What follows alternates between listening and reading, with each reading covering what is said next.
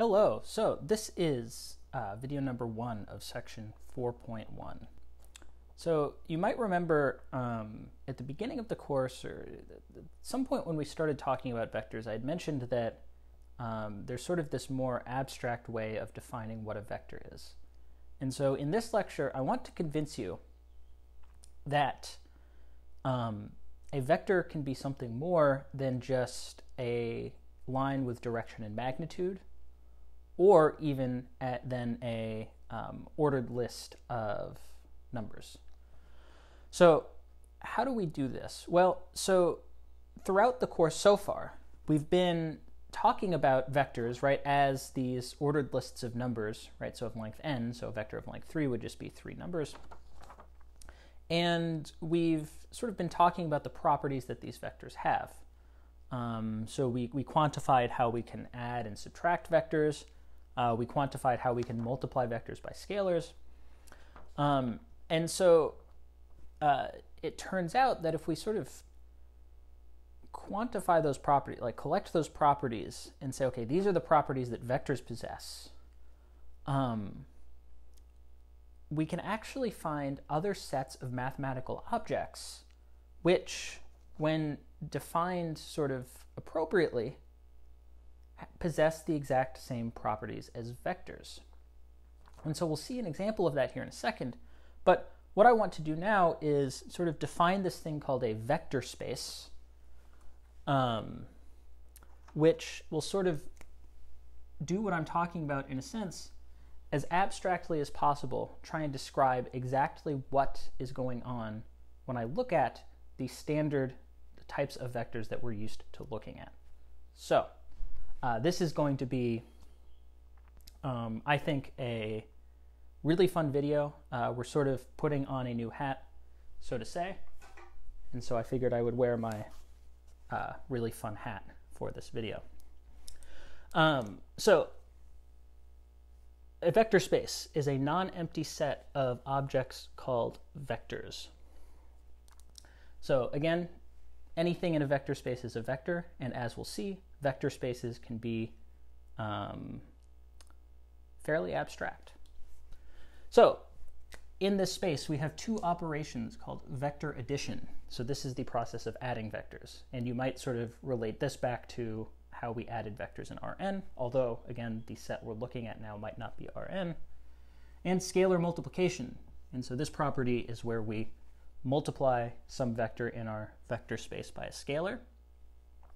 And so what we um, sort of require is that these two properties of vector addition and scalar multiplication, or sorry, these two operations of vector addition and scalar multiplication are subject to the following 10 properties. The five properties on the left here concern vector addition, and the five properties on the right concern um, scalar multiplication. So, while discussing these properties, we're going to assume that u, v, and w are vectors in our vector space V, and C and D are scalars in just the real numbers. So C and D are just any real numbers. All right, so for V to be a vector space, the five additive properties it must satisfy. Well, first off, the sum of two vectors must itself be a vector. This one seems trivial, right? Because of course, with the vectors we've worked with so far, the sum of any two vectors, say of length 3, gives me a new vector of length 3. Right? And that's really all this property is saying is that like if I add these two things together using this operation, I shouldn't get something completely new, right? Like the sum of two vectors of length 3 shouldn't give me a vector of length 11 or some, you know, something like that. And again, this one tends to be a little tricky, and, and we'll see some examples moving forward of where number one actually can, can be broken quite a bit. Uh, two, uh, vector addition should be commutative. We've seen that hold with our standard vectors. Um, in math, when we add things together, we like addition to be commutative. That is, I should be able to do it in either order.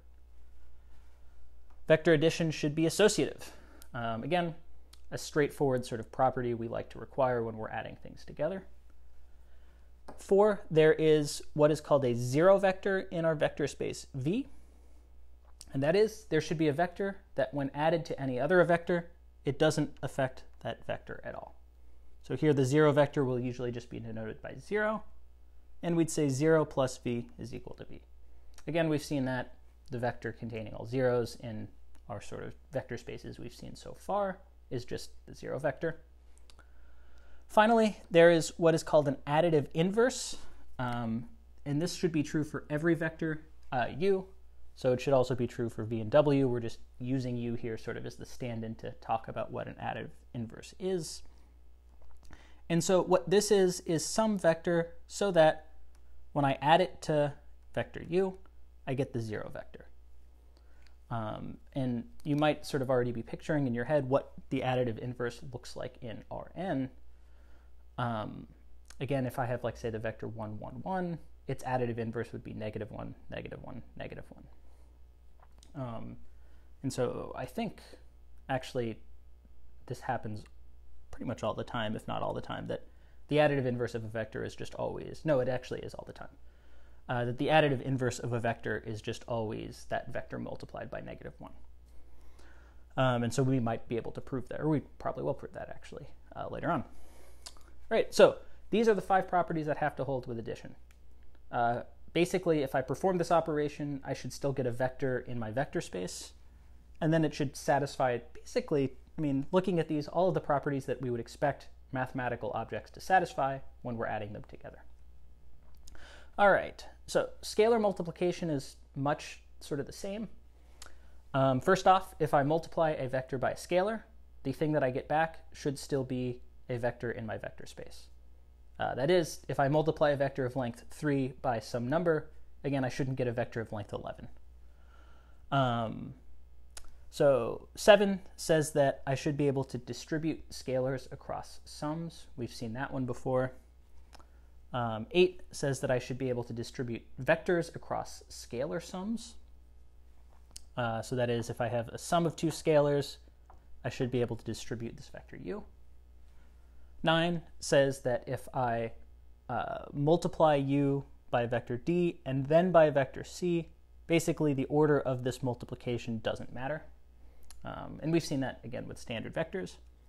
Finally, 10 says that if I multiply my vector u by 1 I should get u back. And so for that reason, sometimes we call one the additive identity. And so, like I said, I think seven, eight, nine, we've actually described as you know properties that hold about vectors in Rn. Uh, same with two, three, four, uh, five, and ten. Also, you can see how that holds. And so you might be able to notice again how these ten rules sort of summarize how vectors in Rn work together. But as we're about to see, there are actually other types of sets of mathematical objects, objects we can define that possess these same properties. And so those sets are going to be called vector spaces, and the things in those sets will be called vectors. So again, um, you know, when we say vector now, we don't necessarily mean something with uh, you know direction and magnitude or a list of numbers. A vector could be almost anything. And to see that, we're going to now look at an example of a vector space.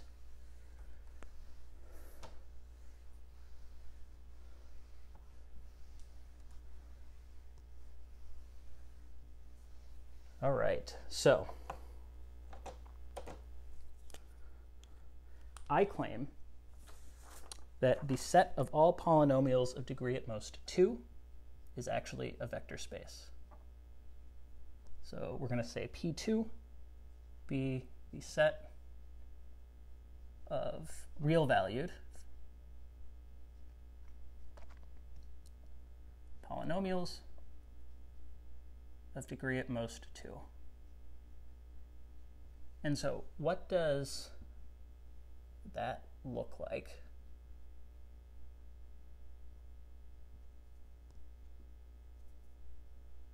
So objects in this space that is real valued polynomials of degree at most 2. Um, so here in this space,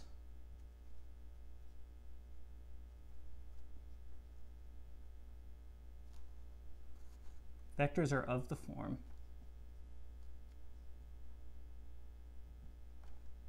ax squared plus bx plus c, where a, b, and c are real numbers. Not Rn, just R. So again, this is sort of the general way of writing a polynomial of degree at most 2. Um, you know, it has x squared term, x term, constant term. Uh, in particular, notice that um, a, a, B, and C could all potentially be 0. So I'll give a few examples of polynomials that are actually in this space. We could have something like 5x squared minus 2x plus 1. We could have something like 3x, or even maybe a constant polynomial, like just 1. Because notice here, a would be 5, b would be negative 2, c would be 1. Here, a and c would be 0, but 3 would be, or b would be 3.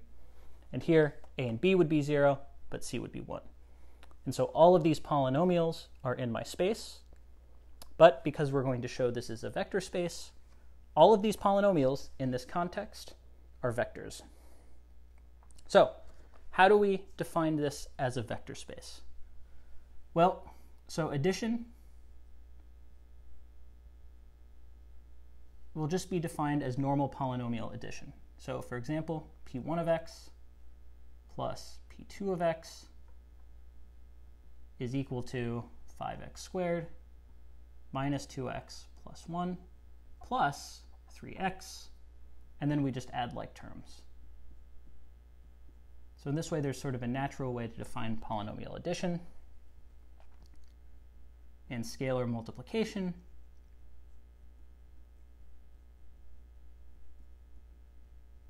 well, I might multiply, you know, negative 2 times my polynomial.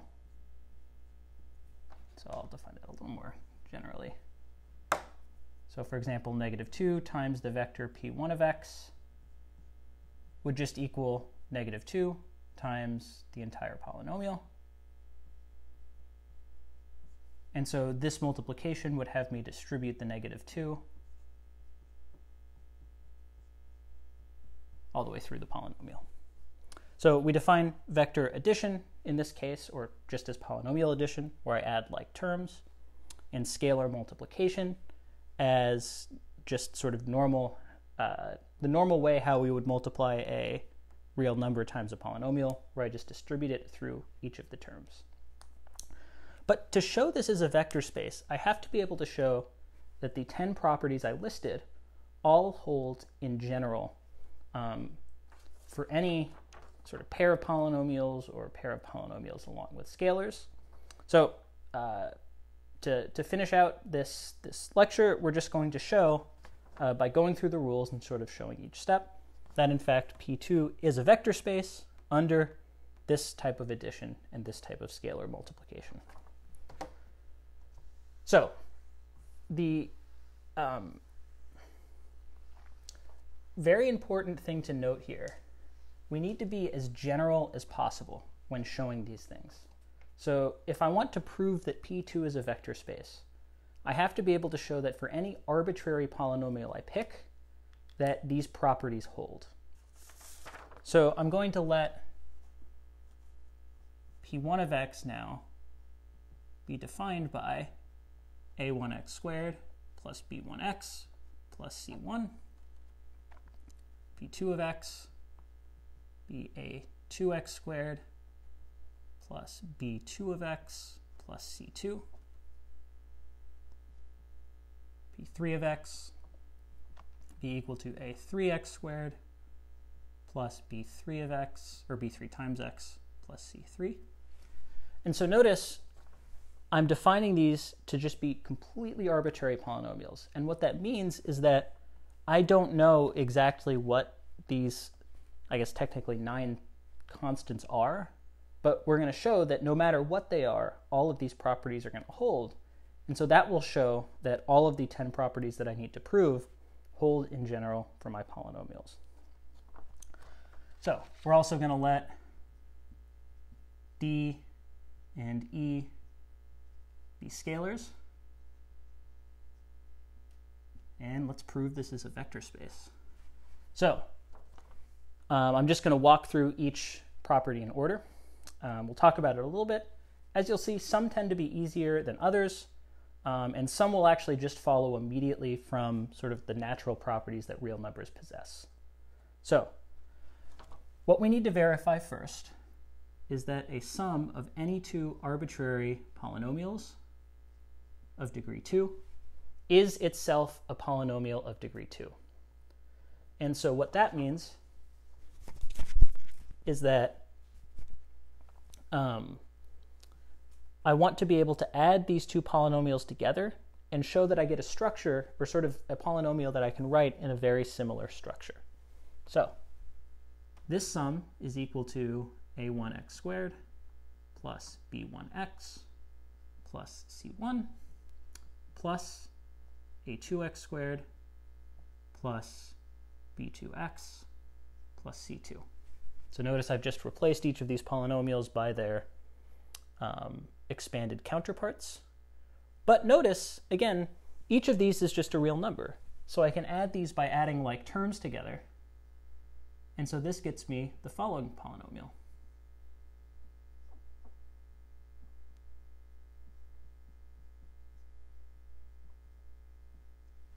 And notice now, I've got some constant times x squared plus some constant times x plus some constant uh, times nothing. And sure enough, this is itself a polynomial of degree 2. And so this is closed under addition. All right, next up. Well, here we need to show that polynomial addition is commutative.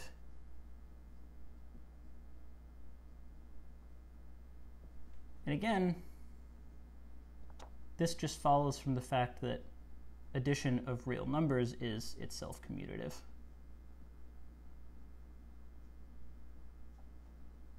And so notice here, I just want to move all of these terms around.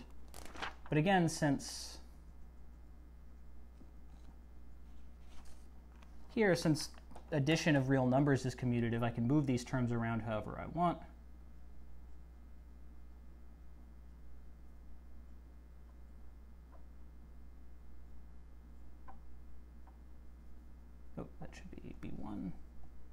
C1, which is equal to p2 of x plus p1 of x. So you might sort of be seeing a trend with how we're going to do this. We're often going to be falling back on mathematical principles that we know to be true. Um, and so oftentimes there aren't going to be too many of these verification steps that are extremely difficult, right? Like this one, you can just say, well, real number addition is commutative, and ultimately polynomials are just sums of real numbers, and so polynomial addition is also commutative.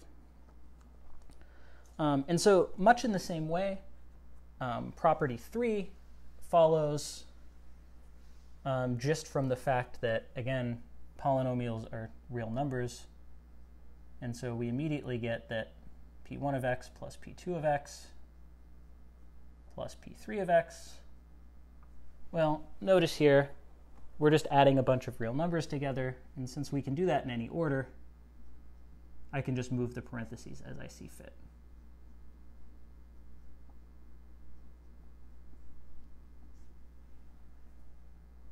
All right. So three is maybe not as interesting in this case. Um, four, we need to show that there's a zero vector in this space. I claim the zero vector is just the polynomial p of x is equal to 0. Why is this the case? Well, notice that p1 of x plus p sub 0 of x is equal to a1 x squared plus uh, b1x plus c1 plus 0, which is just equal to the polynomial p1 of x.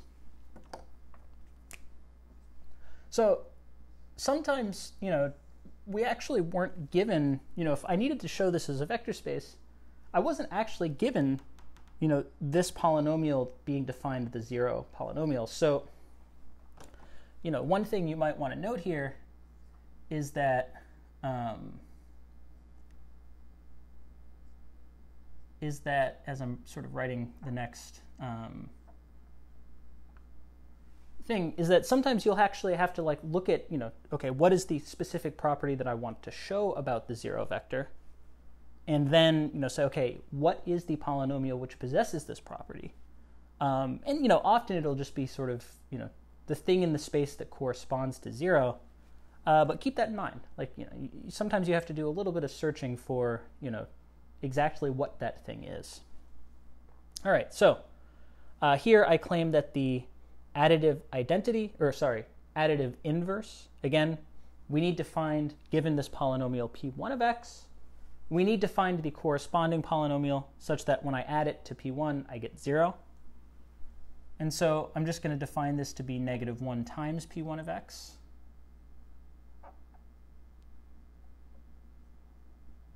which is just the negative of all of the coefficients. And now we check does p1 of x plus negative p1 of x equal 0?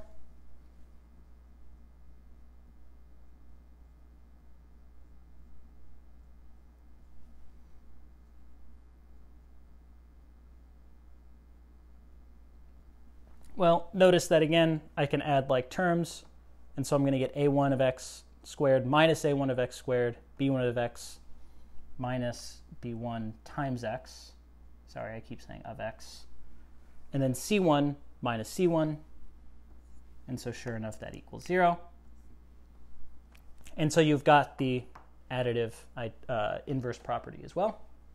And so it satisfies 1 through 5. Again, polynomial addition in this way works sort of just like vectors work. Um, the secret, which I'll tell you now, is that we're actually going to show later on that polynomials themselves can sort of shown to just be vectors if you look at them the right way. But anyways, uh, we need to show properties 6 through 10 now. All right, so property 6, I want to show that if I multiply any scalar d times my polynomial p1, that I still get a polynomial in the um, original space. And so notice here, I'm just going to distribute d through this polynomial. And this one will work much like property 1 worked uh, concerning scalar, uh, or sorry, uh, vector addition. I have to show that when I do this scalar multiplication, I still get a polynomial of degree 2, and rearranging things around, we can see that is true.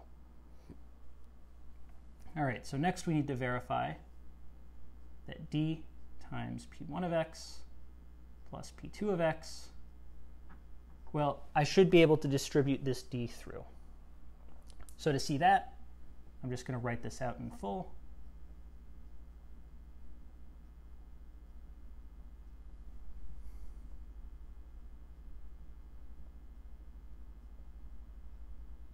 And notice, again, I have the distributive property with real numbers. And so I can actually distribute my scalar d through this entire expression. But what I'm going to be able to do after that is sort of undistribute, in a sense, the d in a useful way where I can undistribute it sort of splitting the equations in two.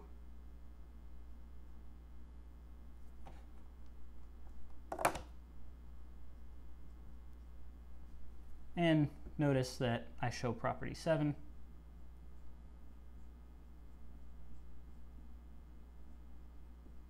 Just like so.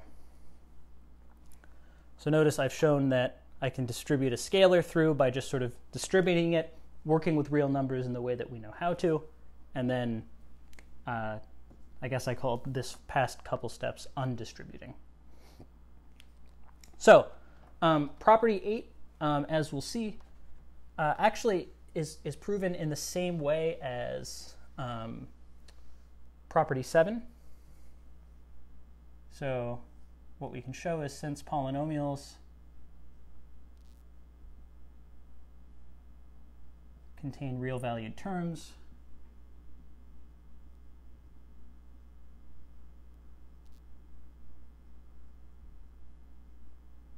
uh, it follows that for any two scalars, d plus e times p1 of x, that again I can sort of distribute in this way. Um, I have the full I have the full proof for this written out in the uh, worksheet solutions, um, much like for number seven, but it ends up going sort of the exact same way where you distribute through and then undistribute. Uh, so try it on your own actually. Try showing this, and then you can check the full uh, solution to this in the worksheet, but um, I won't show it here just for uh, time's sake to make sure this video doesn't go on too long. All right, um, same with 9. So 9 since uh, we can just say by the properties of real numbers.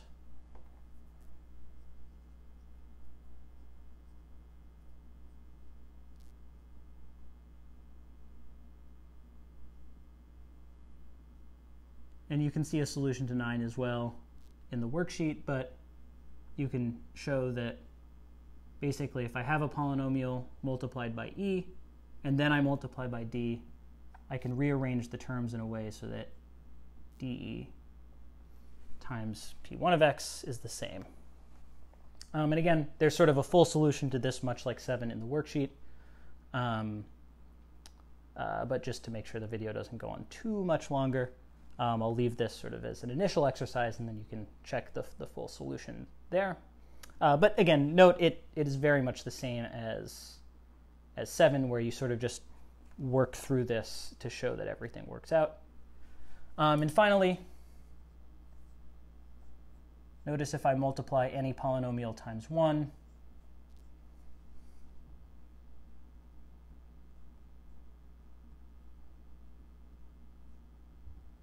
well, this is just equal to the original polynomial. And so it turns out that the set of polynomials of degree 2 is actually a vector space. Um, so, um, like I said, check the worksheets for uh, full expanded solutions to these two properties. Um, but try it on your own first. Try sort of mimicking what happened in 7 uh, to show that 8 and 9 both hold. Um, then in the worksheet, there's one more problem where you actually will show that it turns out matrices can form a vector space as well. Uh, and then we will move on to uh, section or video two of this uh, chapter. Uh, and so one more quick note. Um, so by the schedule, you will be uh, watching this on Wednesday, and so you have a midterm tomorrow. Note again, this will not be on your midterm. So uh, you don't have to worry about mastering this by tomorrow.